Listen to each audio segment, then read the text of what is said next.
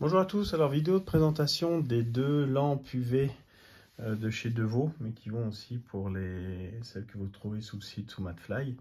Donc juste une petite euh, précision au niveau de la mise en place des piles et puis surtout de voir la différence des faisceaux.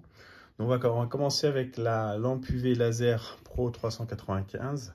Donc ça c'est le modèle qui est zoomable donc par cette euh, action. Pour les piles, très facile, on ouvre ici. Voilà. Vous placez deux piles, c'est des triple A, sauf erreur. Euh, voilà. Donc, le côté positif en premier. Une fois, deux fois. On referme. Voilà, et le bouton off-on se situe sur le dessus, ici au niveau de la tâche. Donc vous poussez une fois, et voilà, vous allez avoir un faisceau comme celui-ci qui peut être justement zoomable. Voilà. Donc ça c'est pour le modèle UV euh, Laser Pro. Donc voilà. Ensuite vous allez retrouver donc la deuxième, le deuxième modèle qui est la lampe UV laser. Donc pareil, vous ouvrez par le milieu.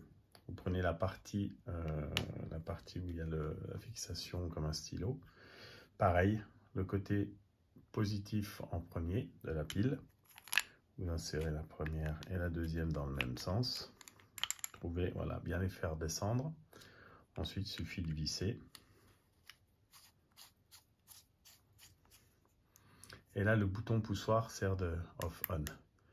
Et là, vous avez quelque chose d'un peu plus puissant, mais beaucoup plus restreint en taille. Donc les deux modèles, euh, pour les résines UV, fonctionnent très bien. Donc voilà. C'était juste cette petite précision. Certaines personnes avaient du mal à trouver le placement des piles et les boutons off-on. Donc voilà, c'est expliqué.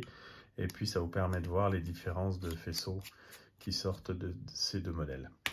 Donc voilà, une bonne journée à vous. Merci, au revoir.